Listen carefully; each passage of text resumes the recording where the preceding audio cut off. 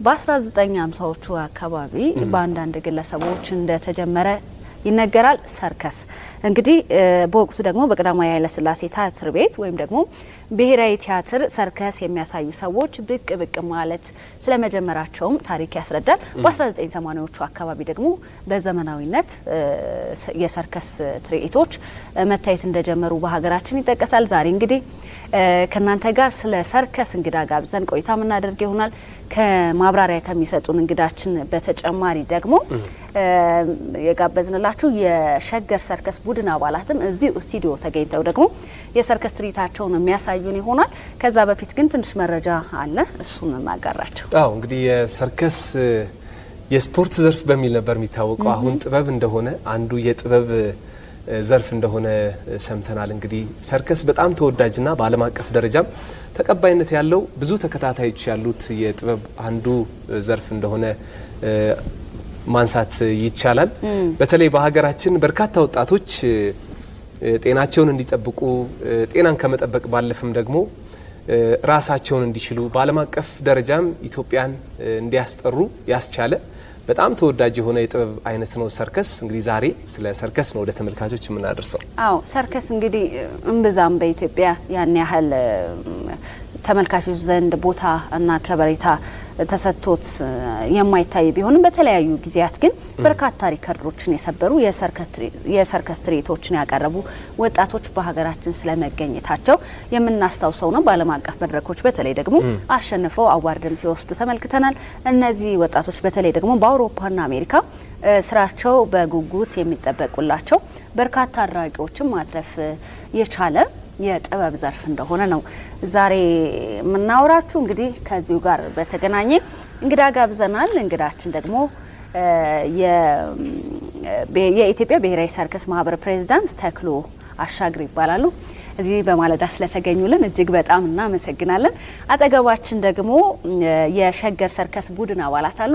እንኳን ደህና መጣችሁ። እናመሰግናለን እናንተንም ወደ እነሱ ቆየት ብለን መለስ ወደ እነሱ ትንሽ ቆየት ብለን መለስ እንላለን። የተወሰኑ ጨዋታዎችን ከወንድማችን ተክሎ አሻግር ጋር እንጨዋወታለን። እንግዲህ ቀደም ሲል መግቢያው ላይ በአጭሩ ለመጥቀስ እንደሞከር ነው የሰርከስ የጥበብ ዘርፍ በዓለም አቀፍ ደረጃዎች በጣም ተቀባይነት ያገኛል። ወደ ሀገራችን ስንመጣ ደግሞ ብዙም ትኩረት አይሰጠውም። ያው ምናልባት በእጅ የያዙት ወርቅ እንደሚባለው ሆኖም ሊሆን ይችላል። ወይም ደግሞ የሰውም ትኩረት አናሳ የሆነው ለሌሎች የስፖርት ወይም የጥበብ ዘርፎች ትኩረት ከመስጠትም ሊሆን ይችላል እና እንደው በአንተ እይታ በዚህ ዘርፍ ካለህ ቆይታ ምክንያቱ ምንድን ነው ብለህ ታስባለህ? ብዙ ትኩረት የማይሰጠው የተለያዩ ምክንያቶች አሉ። አንደኛው ማለት በሶስት ብከፍለው አንደኛው ያው እኛው ራሳችን ትኩረት እንዲሰጠው መስራት የሚገባን ማድረግ የሚገቡን ተግባራቶችን አለማከናወናችን ብዬ አስባለሁ። ሁለተኛው እንደ ኪነ ጥበብ ዘርፍ የተለመዱ ጥበብ ሲባል ኪነ ጥበብ ሲባል የተለመዱ ሶስት አራት ዘርፎችን ላይ ብቻ የማተኮር አሁን ዓለም ወይም ደግሞ ከተለመደው ወጣ ብሎ የማሰብ በተለይ በዚህ በ modern art ኡ ላይ ያሉ የኪነ ጥበብ ዘርፎች ላይ ትኩረት አድርጎ እውቀት አስፍቶ ሚዲያውም ሆነ የኪነ ጥበብ አካሉ እንትን አለማወቅ ወይም ደግሞ የዛ exposure ወይም ደግሞ በተለመደው ነገር ላይ መሄድ ነው ብዬ አስባለሁ። ሌላኛው ሶስተኛውና important ኡ ያው መንግስት እንደ መንግስት ትኩረት ለኪነ ጥበቡ ሲሰጥ እንደዚህ አይነት ዘርፎች ላይም በደንብ ተረድቶ አውቆት አስፈላጊ የሆኑ ድጋፎች በተለይ ከ space ከቦታ አንጻር ከ tax አንጻር እንደዚህ የተለያዩ ማዕቀፍ ሊያግዙ ጥበቡን ሊያስፋፉ ትኩረት ሊሰጡ ቢያስችሉ ነገሮች ላይ እንደዚህ ያለ አናሳ የሆነ ወይም ደግሞ ዝቅተኛ የሆነ የአመለካከት ችግር አለ ብዬ አስባለሁ። እና I think እነዚህ ነገሮች ናቸው የግንዛቤ እጥረት ማለት እንችላለን። እንደው ከመንግስትም የሚጠበቀው ስራ እንደዚሁም ሌሎች አጋር አካላትም መደገፍ ያለባቸው ስራ እንዳለ ሆኖ ግን አሁን የኢትዮጵያ የሰርከስ ማህበር አቅም እንዴት ነው የሚገለጸው?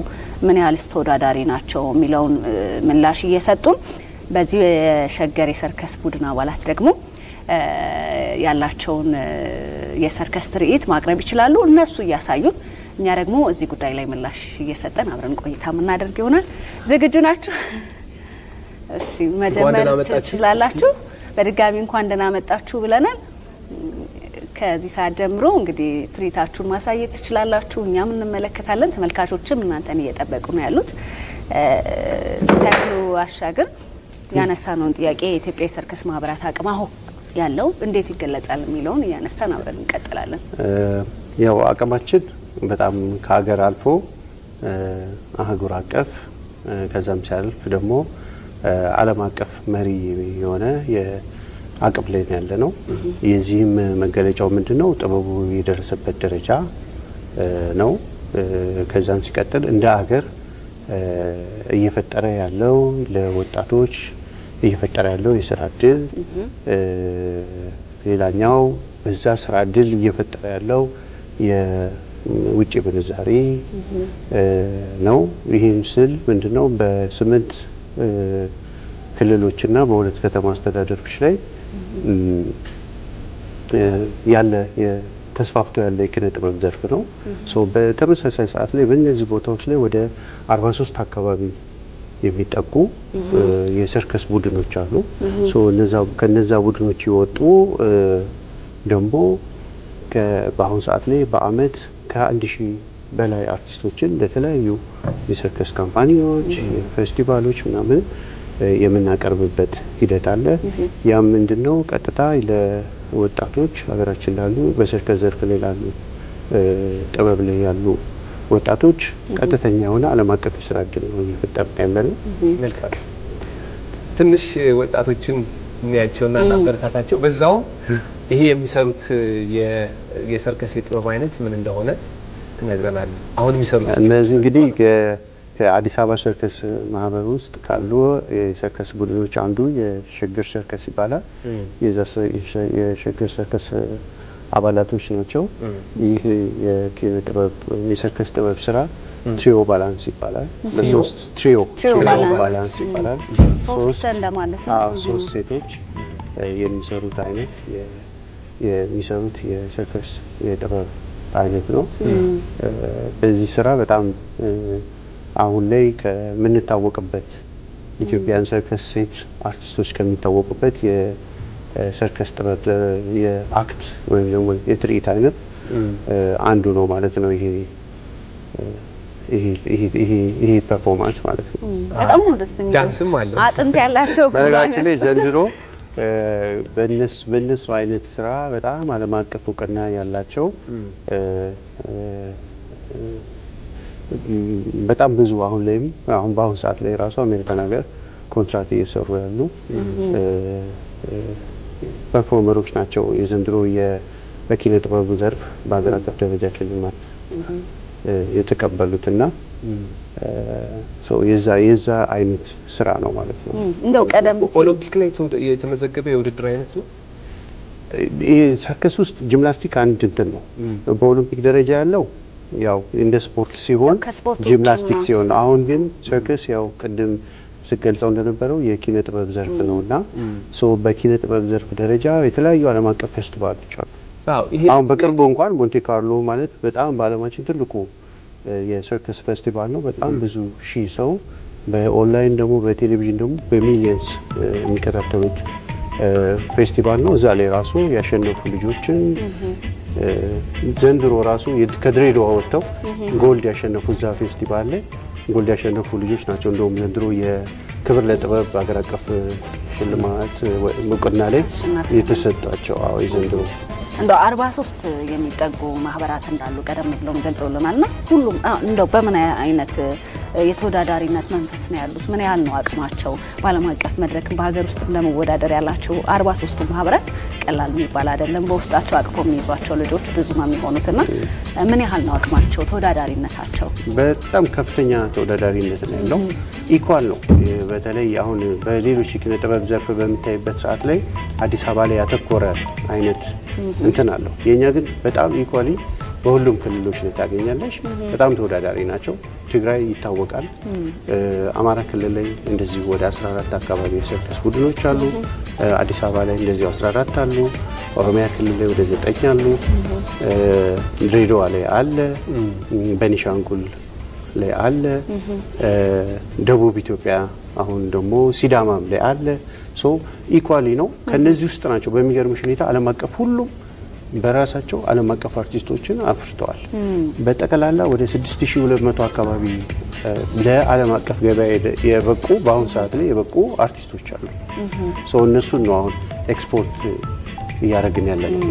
በጣም ነው ደስ የሚለው። በተለይ የሀገርን ገጽታ ከመገንባት አንጻር ራሱ ያለው ፋይዳ ቀላል የሚባል አይደለም። እንዲያምረው ደግሞ በኢትዮጵያ ባንዲራ ነው እየሰሩ ያሉት። በጣም ነው ደስ የሚሉት። ትልቅ እንትን ነው by the way በእኛ ያህል የኢትዮጵያን ገጽታ የገነባ ጥበብ አለ ብዬ አላስብም።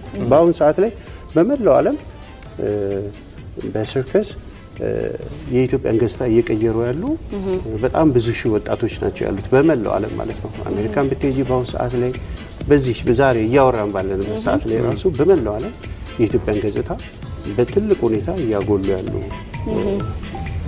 የጥበብ ባለሙያዎች ነው። በጣም ነው ደስ የሚሉት። እንዲህ አይነት exercise እየሰሩ እንኳን ፈገግታቸው የሚሰጡት ነገር በጣም ደስ የሚል ነው። እኛ በጣም እናመሰግናለን። ከዚህ ሞራል ሰጥተናል። ከሸገር ሰርከስ ቡድን አባላት ዘግየት ብላ የተቀላቀለችን አንድ ታዳጊ ያለች solo contortion የተሰኘ የሰርከስ ትርኢት ነው የምታሳየን።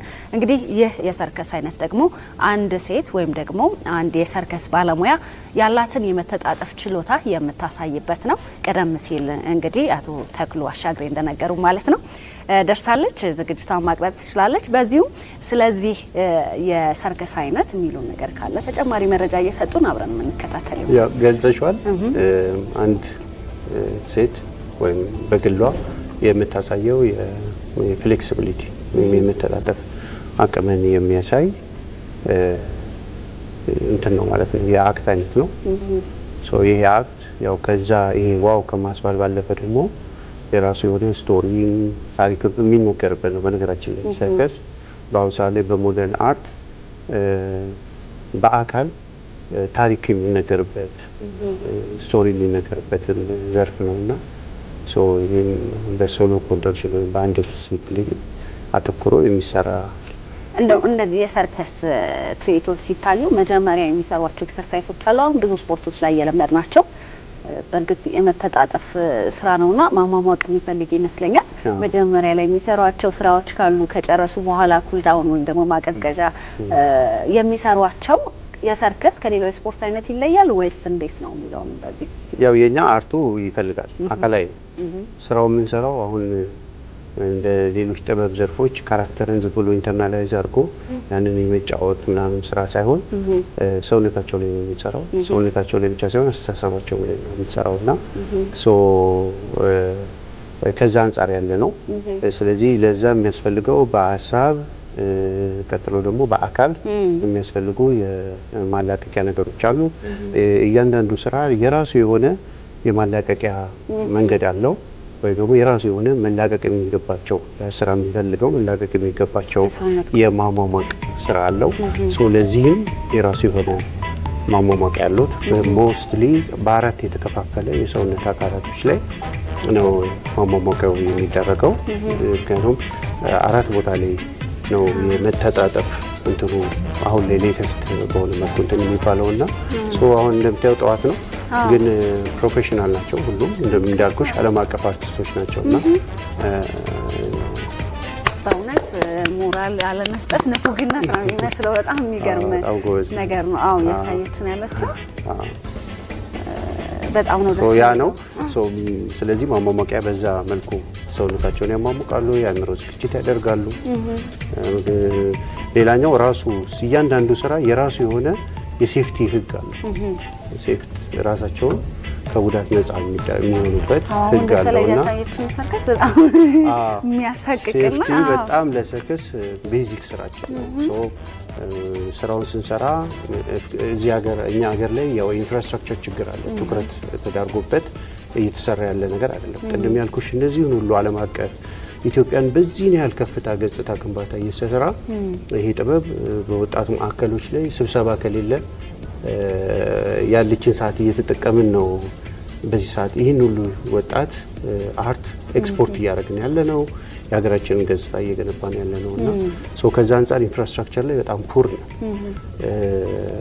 አንዳንድ ጊዜ እንደውም በደረጃ አሁን እኛ በዓለም ላይ በሰርከስ አርቲስት አቅርቦትና በጥበቡ ደረጃ 2017 ላይ ባለ ዓለም አቀፍ ጉባኤ ላይ ሰባተኛ ደረጃ ላይ ነበረ።